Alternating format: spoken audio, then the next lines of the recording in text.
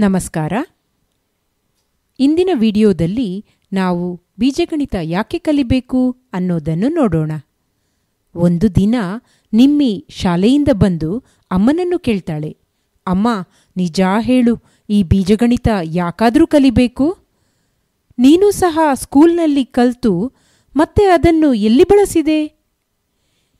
ನನ್ನ ಪ್ರಕಾರ, ನಾವು ವಿಜ್ಞಾನ ಕ್ಷೇತ್ರದಲ್ಲಿ ನಮ್ಮ ವೃತ್ತಿಯನ್ನು ಆಯ್ದುಕೊಂಡಲ್ಲಿ ಈ ಬೀಜಗಣಿತವನ್ನು ಕಲಿಬೇಕು. ಇಲ್ಲ ಅಂದರೆ ಸುಮ್ಮನೆ ವೇಸ್ಟ್ ಅಲ್ವಾ ಅಮ್ಮ? ನನಗನ್ಸುತ್ತೆ. ಬಹುಶಃ ನೀನು ನನಗೆ ಈಗ ಕಲಿಸೋ ಥರ ಮುಂದೆ ನನ್ನ ಮಕ್ಕಳಿಗೆ ಕಲಿಸಲು ಮಾತ್ರ ಈ ಬೀಜಗಣಿತವನ್ನು ನಾನೀಗ ಕಲಿಬೇಕು. ನೀನೇನಂತೀಯ? ಅಂತಾಳೆ. ಅದಕ್ಕೆ ನಿಮ್ಮಿಯ ಅಮ್ಮ ಒಂದು ಸಲ ಜೋರಾಗಿ ನಕ್ಕು, ಹೇಳ್ತಾಳೆ, ನೋಡು ನಿಮ್ಮಿ, ಇದೇ ನೀನು ಮೊದಲು ಕಲಿಯಬೇಕಾಗಿರೋದು. ಬೀಜಗಣಿತ ಕಲಿಬೇಕು ಅಂತ ಇದ್ದರೆ ಮೊದಲು ಅದನ್ನು ಯಾಕೆ ಕಲಿಬೇಕು? ಎಲ್ಲಿ ನಾವು ಅದನ್ನು ಬಳಸ್ತೀವಿ? ದೈನಂದಿನ ಜೀವನದಲ್ಲಿ ಅದರ ಅಗತ್ಯ ಎಷ್ಟರ ಮಟ್ಟಿಗೆ ಇದೆ? ಈ ಎಲ್ಲ ಪ್ರಶ್ನೆಗಳಿಗೆ ಉತ್ತರ ಕಂಡುಕೊಳ್ಬೇಕು. ಆಗ ಬೀಜಗಣಿತದ ಕಲಿಕೆಗೆ ತನ್ನಿಂದ ತಾನೇ ನಮಗೆ ಆಸಕ್ತಿ ಮೂಡುತ್ತದೆ ಅಂತಾಳೆ. ಆಗ ನಿಮ್ಮಿ, ಹಾಗಾದರೆ ನನಗೆ ಮೊದಲು ಅದನ್ನು ಹೇಳು ಅಂತಾಳೆ. ಆಗ ಅಮ್ಮ ಅಂತಾಳೆ, ನೋಡು ನಿಮ್ಮಿ ಬೀಜಗಣಿತದ ಉಪಯೋಗ ಎಲ್ಲ ಕ್ಷೇತ್ರದಲ್ಲೂ ಇದೆ. ವಿಜ್ಞಾನ ಮಾತ್ರವಲ್ಲ, ವಾಣಿಜ್ಯ, ಕಲೆ, ಕಂಪ್ಯೂಟರ್, ಬ್ಯಾಂಕಿಂಗ್, ಪ್ರವಾಸ, ಸಂಗೀತ, ಛಾಯಾಗ್ರಹಣ, ಚಿತ್ರಕಲೆ, ಬಟ್ಟೆ ವಿನ್ಯಾಸ, ಒಳಾಂಗಣ ವಿನ್ಯಾಸ, ಪೈಲಟ್ ಹುದ್ದೆ, ನಾವಿಕನ ಹುದ್ದೆ, ವಾಸ್ತುಶಿಲ್ಪ, ವೈದ್ಯಕೀಯ ಕ್ಷೇತ್ರ, ಯಂತ್ರಗಳ ಬಳಕೆ, ಯಂತ್ರಗಳ ಉತ್ಪಾದನೆ, ಒಂದೋ ಎರಡು. ಅಷ್ಟೇಕೆ, ನನ್ನ ಅಡಿಗೆ ಮನೆಯಲ್ಲೂ ಸಹ ಬೀಜಗಣಿತದ ಉಪಯೋಗ ಇದೆ, ಗೊತ್ತಾ? ಅಂತ ಕೇಳ್ತಾಳೆ. ಆಗ ನಿಮಗೆ ಆಶ್ಚರ್ಯವೋ ಆಶ್ಚರ್ಯ. ಅವಳು ಅಡಿಗೆ ಮನೆಯಲ್ಲ, ಅದು ಹೇಗಮ್ಮ? ಅಂತ ಕೇಳ್ತಾಳೆ. ಆಗ ನಿಮ್ಮಿಯ ಅಮ್ಮ ಹೇಳ್ತಾಳೆ, ನೋಡು, ಒಂದು ಚಿಕ್ಕ ಉದಾಹರಣೆ ಕೊಡ್ತೀನಿ. ನಿನಗೆ ರವಾ ಲಡ್ಡು ಅಂದರೆ ತುಂಬ ಇಷ್ಟ, ಅಲ್ವಾ? ಅದನ್ನು ಮಾಡೋದು ಹೇಗೆ ಅಂತ ನಾನು ಅಜ್ಜಿಯಿಂದ ಕಲಿತೆ. ಅಜ್ಜಿಯನ್ನು ಕೇಳಿದರೆ ಅವರು ಅಳತೆ ಏನು ಹೇಳಿದರು ಗೊತ್ತಾ? ಒಂದು ಚಿಕ್ಕ ಲೋಟ ರವೆ, ಅಷ್ಟೇ ಸಕ್ಕರೆ ಒಂದು ಕಾಲು ಲೋಟ ತುಪ್ಪ ಬೇಕು ಅಂತ. ಆಮೇಲೆ ಸ್ವಲ್ಪ ದ್ರಾಕ್ಷಿ, ಗೋಡಂಬಿ ಅಂತ ಹೇಳಿ ಅದನ್ನು ಮಾಡೋ ವಿಧಾನ ಎಲ್ಲ ಹೇಳಿದರು. ಆದರೆ ಅವರು ಹೇಳಿದ ರೀತಿ ಮಾಡಿದರೆ ಒಂದು ಎಂಟು ಲಡ್ಡು ಆಗ್ಬೋದಂತೆ ನಮಗೆ ಅಷ್ಟು ಸಾಕಾಗುತ್ತಾ? ಹೇಳು. ಅದಕ್ಕೆ ನಿಮ್ಮಿ ಅಂತಾಳೆ, ಅಯ್ಯೋ, ಎಂಟು ಲಡ್ಡುನ? ಅದು ನನಗೊಬ್ಳಿಗೇನೆ ಸಾಲಲ್ಲ? ಅದೇ, ನಮಗಂತೂ ಕಮ್ಮಿ ಅಂದರೆ ಒಂದು ಮೂವತ್ತು, ಇಪ್ಪತ್ತೈದರಿಂದ ಮೂವತ್ತು ಲಡ್ಡು ಆದರೂ ಬೇಕು, ಅಲ್ವಾ? ಈಗ ನೀನೇ ಹೇಳು, ನಾನು ಹೇಗೆ ಅಳತೆ ತಗೊಳ್ಬೇಕು ಅಂತ? ಅಂತ ನಿಮ್ಮಿ ಅಮ್ಮ ಹೇಳ್ತಾಳೆ. ಆಗ ನಿಮ್ಮಿ ಸ್ವಲ್ಪ ಆಲೋಚನೆ ಮಾಡಿ, ಅಮ್ಮ, ಒಂದು ಲೋಟದಲ್ಲಿ ಎಂಟು ಲಡ್ಡು ಆಗುತ್ತೆ, ಅದನ್ನೇ ಡಬ್ಬಲ್ ಮಾಡಿದರೆ ಎರಡು ಲೋಟದಲ್ಲಿ ಹದಿನಾರು. ಹಾಗಿದ್ರೆ ನಾಲ್ಕು ಲೋಟದಲ್ಲಿ ಮೂವತ್ತೆರಡು ಲಡ್ಡು ಆಗುತ್ತೆ, ಅಲ್ವಾ? ಅಂತ ಕೇಳ್ತಾಳೆ.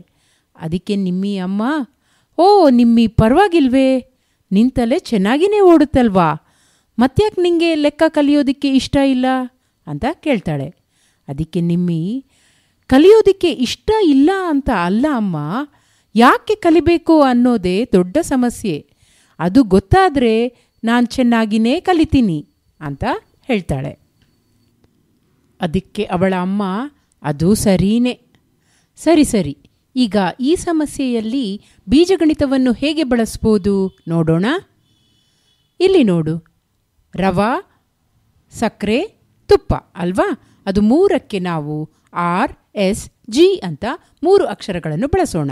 ಆಗ ನಮಗೆ ಅಜ್ಜಿ ಹೇಳಿದ ವಿಧಾನದಲ್ಲಿ ಏನು? ಒಂದು ಲೋಟ ರವ ಪ್ಲಸ್ ಒಂದು ಲೋಟ ಸಕ್ಕರೆ ಪ್ಲಸ್ ಕಾಲು ಲೋಟ ತುಪ್ಪ. ಸೊ ನಾವೇನು ಬರಿಬೋದು? ಆರ್ ಪ್ಲಸ್ ಎಸ್ ಪ್ಲಸ್ ಕಾಲು ಜಿ ಈಸ್ ಈಕ್ವಲ್ ಟು ಎಂಟು ಲಡ್ಡು, ಅಲ್ವಾ? ಈಗ ನಮಗೆ ಬೇಕಾಗಿರೋದು ಏನು? ನಮಗೆ ಮೂವತ್ತಾದರೂ ಬೇಕು. ನೀನೇ ಅಂದೆ, ಏನು ಮಾಡ್ಬೋದು ನಾವು? ಎಂಟು ಲಡ್ಡಿಗೆ ಒಂದು ಲೋಟ ರವ ಆದರೆ ನಾಲ್ಕು ಲೋಟ ರವಾದಲ್ಲಿ ನಾವು ಮೂವತ್ತೆರಡು ಲಡ್ಡು ಮಾಡ್ಬೋದು ಅಂತ. ಈಗ ಈ ಸಮೀಕರಣದಲ್ಲಿ. ನಾವೀಗ ಬರೆದದ್ದೇನದು? ನಾವದನ್ನು ಸಮೀಕರಣ ಅಂತೀವಿ. ಅಲ್ವಾ? ಇದರಲ್ಲಿ ನೋಡು, ಎಡಬದಿ ಮತ್ತು ಬಲಬದಿ ಅಂತ ಇರುತ್ತೆ, ನಡುವೆ ಸಮಚಿಹ್ನೆ ಇರುತ್ತೆ. ಸೊ ಈಗ ಎಂಟು ಲಡ್ಡು ನಾವು ಮೊದಲು ಕಲ್ತಿರೋದು. ಅದು ಈಗ ನಾವೇನು ಮಾಡಬೇಕು? ಮೂವತ್ತೆರಡು ಲಡ್ಡು ಮಾಡಬೇಕು. ಅದಕ್ಕೆ ನಾವೇನು ಮಾಡ್ತೀವಿ? ಎಂಟು ಗುಣಿಸು ನಾಲ್ಕು ಮಾಡ್ತೀವಿ. ಸೊ ಎಂಟು ಗುಣಿಸು ನಾಲ್ಕು ಮಾಡಿದರೆ ಮೂವತ್ತೆರಡು ಅಂತ ಬರುತ್ತೆ. ಅಲ್ವಾ? ಸೊ ಆ ಸಮೀಕರಣದಲ್ಲಿ ನಾವು ಎರಡೂ ಬದಿ ನಾಲ್ಕರಿಂದ ಗುಣಿಸುವ. ಹಾಗೇನಾಗುತ್ತೆ? ನಾಲ್ಕು ಆರ್ ಪ್ಲಸ್ ನಾಲ್ಕು ಎಸ್ ಪ್ಲಸ್ ಕಾಲು ಜಿ ಗುಣಿಸು ನಾಲ್ಕು ಅಂತ ಹೇಳಿದರೆ ಏನಾಗುತ್ತೆ? ಒಂದು ಜಿ ಆಗುತ್ತೆ. ಅಲ್ವಾ? ನಿನ್ನ ಅಂಕಗಣಿತ ಚೆನ್ನಾಗಿದೆ ಅಂತ ಅಂದ್ಕೊಳ್ತೀನಿ. ಅಲ್ವಾ? ಸೊ ನಾಲ್ಕು ಆರ್ ಪ್ಲಸ್ ನಾಲ್ಕು S plus G is equal to ಸಮ ಯಾವುದಕ್ಕೆ ಮೂವತ್ತೆರಡು ಲಡ್ಡು ಅಲ್ವಾ ಇದನ್ನೇ ನಾವು ಜನರಲ್ ಆಗಿ ಹೇಗೆ ಬರಿಬಹುದು? ನಾವು ಎಕ್ಸ್ ಅಂತ ಒಂದು ಅಕ್ಷರವನ್ನು ತೆಗೆದುಕೊಳ್ಳೋಣ. ಎಕ್ಸ್ ಅಂದರೆ ಏನು? ಒಂದು ಗೊತ್ತಿಲ್ಲದ ಸಂಖ್ಯೆ. ಈಗ ನಮಗೆ ಎಷ್ಟು ರವ, ಎಷ್ಟು ಸಕ್ಕರೆ ತಗೊಳ್ತೇವೆ ಅನ್ನೋದು ಗೊತ್ತಿಲ್ಲ. ಆ ಜಾಗದಲ್ಲಿ ನಾವು ಎಕ್ಸ್ ಅಂತ ಹಾಕೋಣ. ಆಗ ಸಮೀಕರಣ ಏನಾಗುತ್ತೆ? X R plus X S plus ಕಾಲು ಎಕ್ಸ್ ಜಿ ಸಮ ಎಂಟು ಎಕ್ಸ್ ಲಡ್ಡು. ಅಲ್ವಾ? ಹಾಗಿದ್ರೆ ನಿಮ್ಮಿ, ನೀನು ಒಂದು ಅರವತ್ತರಿಂದ ಅರವತ್ತೈದು ಲಡ್ಡು ಮಾಡೋದಿಕ್ಕೆ ಬೇಕಾಗಿರೋ ಸಾಮಗ್ರಿಗಳ ಅಳತೆಯನ್ನು ನನಗೆ ಹೇಳ್ಬೋದಾ? ಅಂತ ಕೇಳಿದಾಗ ನಿಮ್ಮಿ ಆಲೋಚನೆ ಮಾಡಿ, ಥಟ್ಟನೆ ಅಮ್ಮ, ಅರವತ್ನಾಲ್ಕು ಲಡ್ಡು ಮಾಡೋದಿಕ್ಕೆ ಎಂಟು ಲೋಟ ರವ, ಎಂಟು ಲೋಟ ಸಕ್ಕರೆ ಹಾಗೂ ಎರಡು ಲೋಟ ತುಪ್ಪ ಸಾಕು ಅಂತ ಹೇಳ್ತಾಳೆ. ಅದನ್ನು ಕೇಳಿ ನಿಮ್ಮಿಯ ಅಮ್ಮನಿಗೆ ಬಹಳ ಖುಷಿಯಾಗುತ್ತೆ. ನಿಮ್ಮಿ, ನೀನು ಜಾಣೆ ಅಂತ ಹೊಗಳ್ತಾಳೆ. ಸರಿ, ನಿಮ್ಮಿಗಂತೂ ಬೀಜಗಣಿತ ಯಾಕೆ ಕಲಿಬೇಕು ಅನ್ನೋದು ಸ್ಪಷ್ಟವಾಯಿತು. ಇನ್ನು ನಿಮಗೆ? ಇರಲಿ, ಕೊನೆಗೆ ಒಂದೆರಡು ಮಾತು. ನಿಮಗೆ ಗೊತ್ತಾ? ಸಂಶೋಧನೆಗಳ ಪ್ರಕಾರ ಬೀಜಗಣಿತ ಕಲಿತರೆ ನಮ್ಮ ಮಿದುಳು ಬಹಳ ಚುರುಕಾಗುತ್ತದೆಯಂತೆ ಬೇರೆ ಬೇರೆ ಸಂಗೀತ ವಾದ್ಯಗಳನ್ನು ಕಲಿಯುವವರಿದ್ರೆ ಅದನ್ನು ಬೇಗನೆ ಕಲಿತಾರಂತೆ. ಅದಲ್ಲದೆ ಹೊಸ ಹೊಸ ಭಾಷೆಗಳನ್ನು ಬಹಳ ಬೇಗ ಕಲಿತುಕೊಳ್ಳಬಹುದಂತೆ.